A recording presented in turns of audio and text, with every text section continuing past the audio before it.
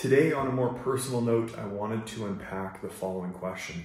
Why did my wife and I buy a home in Victoria, BC? There are a few components that make up the answer to that question, and buying a home is a pretty significant financial decision. Some of you may wonder, as a residential agent, why would you buy a house when prices were falling and conditions as a buyer were going to improve?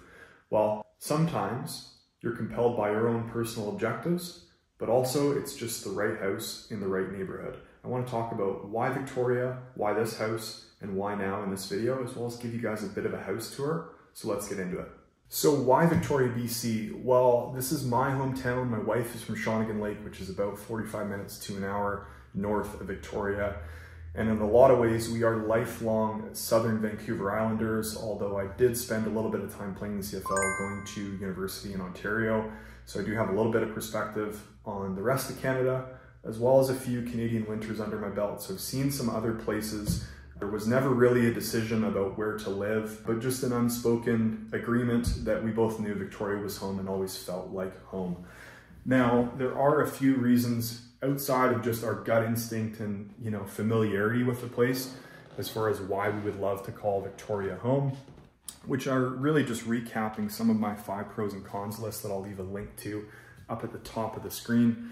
Number one for us, I think if you're planning to have a family, this is a safe, welcoming place to have kids. Communities are extremely welcoming. Everyone is very friendly and you really don't have a whole lot of uh, beeping horns and people getting mad at each other. People genuinely love living here and are pretty friendly as a consequence of that. Number two, I do think this is one of the most beautiful cities in North America. And number three is sort of tied to that is the fact that you have all of these activities that you can do right at your doorstep from Victoria, BC. So whether it's hiking, surfing, skiing, all of that beauty is accessible to you and it's tied to some outdoor activities, which I personally like to incorporate into my lifestyle. For me, number, I guess number four, or number three or number one, wherever we're at. I mean, it's very mild weather. We don't have those crazy winters that you get in other parts of Canada where you're shoveling snow in March. If it snows here, maybe it snows once and then it's gone a week later. It is wet, but it's not as wet as our counterparts over on the mainland in Vancouver who get uh, more than twice the amount of annual rainfall as we do in Victoria.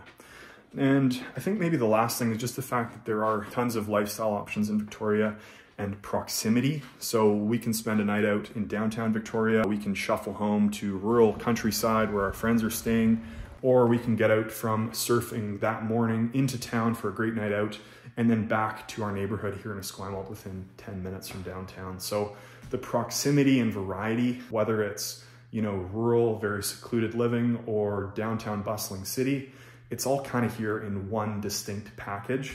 And I don't find myself just speaking anecdotally looking for more metropolis or more countryside. So if I need to decompress and kind of get away from people, I could just drive up to Central Saanich or get out to Metchosin or Sooke. And if I want big city living and the feeling of metropolis and culture and activity and energy, I don't really feel like I need to go to Vancouver or Toronto to get that. We have that all in our downtown core. So hopefully that makes it abundantly clear why we decided to call Victoria, BC our home long term. But that brings me into my next question, which is why this house, why now, and why this neighborhood? Why this house? Well, we were casually looking for a property. We knew that uh, getting into a detached house was something that was on our uh, goals. We worked very hard to make it happen, and of course we did. But I will say that uh, under those kind of market conditions, it was not the best time to be buying residential property in Victoria. We were just on the tail end of peak market conditions. This was in May when we went unconditional on this home and there were five offers. So we did have to go a healthy amount above asking and did submit a few other things to the seller. Nevertheless, felt like it was something we would zoom out from in five to 10 years and think was not of much concern, partly as a consequence of us being able to access fairly cheap credit, um, but also just for the fact that this house actually was a good house. And I feel like I have a pretty good handle on some of that as a residential agent, just assessing some of those things that make buying a primary and the configuration of the primary a good idea. The first reason why was because of the neighborhood. This is in Sax Point, Esquimalt. So we're about a block and a half from uh, Sax Point Park. And we've got some incredible stuff right around us, as well as the walkability or village aspect that I love about Victoria.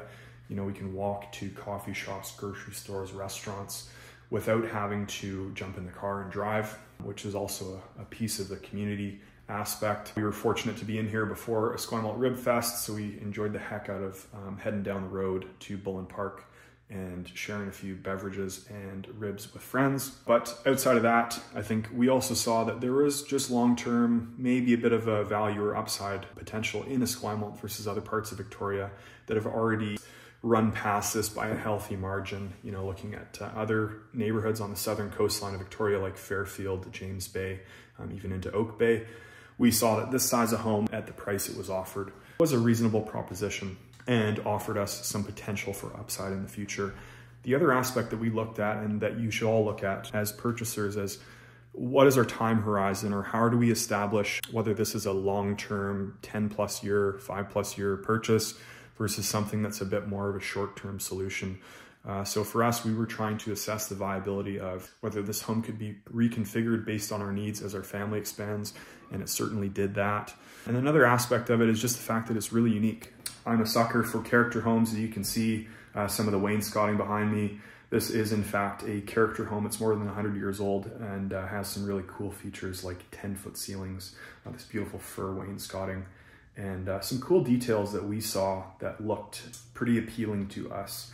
Open airy spaces are something that attract us, but also the ability to sort of make something our own and have a you know a clean home that also gave us some potential to improve and make changes based on our style was something that was attractive to us. So I thought I'd flip this around and just give you guys a bit of a house tour, sort of tell you about where things are currently, what our plans are in the future. We did move into this with the home configured quite a bit differently than it is currently, but we also wanted to picture how we live and what makes the most sense for our lifestyle.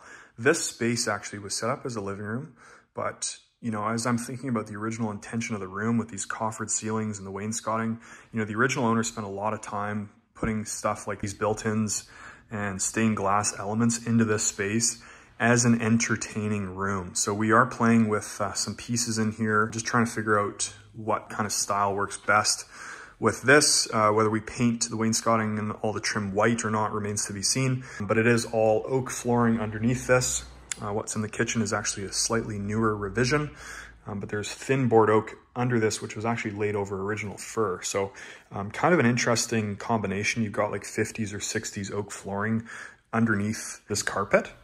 But for us, you know, we sort of pictured ourselves kind of entertaining in the space, and I imagine that will continue.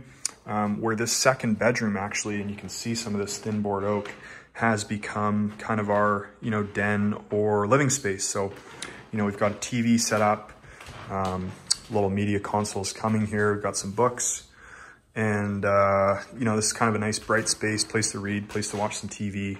So that made more sense to us than having a couple of bedrooms down here that ultimately we wouldn't use that often currently. Now, that's part of the um, you know, change or reconfiguration that could occur moving forward. But for now, we've kind of set this up based on um, our lifestyle and how we live. So this is my current office. Again, you can see you've kind of taken up some of the flooring. It's a little bit rough, requires a bit of a refinish, but uh, we will get to that at some point. Um, a lot of painting has gone on in here, kind of three colors before. And uh, you will see a few videos kind of capturing some of this imagery moving forward. This is our backyard, faces south. there's a big deck off the kitchen. So nice sunlight, something that's really important to us to have a nice bright space. And then uh, in the kitchen again, we've got a set of west facing windows. Those 10 foot ceilings are very, very evident in here. It feels nice and bright and airy. And also just as an eat-in space currently gives us some room to um, expand or improve, which is fitting into the you know potential for upside in the future, we could go with a pretty significant you know kitchen and island combo in here uh, in the future. Coming upstairs, um, I will mention there's a basement with some suite potential. Likely end up using that, you know, for guests and or um, in-laws. Um, nevertheless, um, it's there, and again, more sort of utility for us and for other people moving forward if we ever decided to sell in the future um, dressing room and Rudy's chambers up here. This is where we've decided on his crate. It might do some built-ins or laundry or something up here. I will show you a little bit of the primary. Uh, there is an ensuite up here, but the thing I wanted to show you is the fact that we've got really cool views. Um, you can see the ocean, you can see, you know, a little bit of evidence of the Olympic Mountains way off in the distance. You know, another piece, something that attracted us to this space. Paint, paint, paint, paint, paint. And a second bedroom up here. There's an ensuite in the master.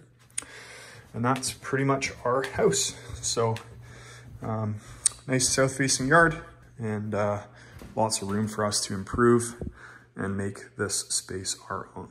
Anyways, hope you guys enjoyed that little tour. Do you think we got it right with this dining space? Uh, do you think you would have put that little den in the front? And does that actually work functionally? There's not a lot of flow here or open concept, um, but we kind of found that more and more we find ourselves just living just the two of us or having, uh, you know, smaller groups of friends together and then having huge open spaces isn't necessarily conducive to how we like to live. So um, I'll certainly keep you posted as we make some improvements along the way, um, whether it's kitchen paint, um, you know, maybe doing floors and stuff in here. And uh, if I have any style questions, I might just bounce them off the YouTube crowd and see how you guys feel about it. Um, but for now, me and Rudy are gonna sign out and we look forward to seeing you in the next video.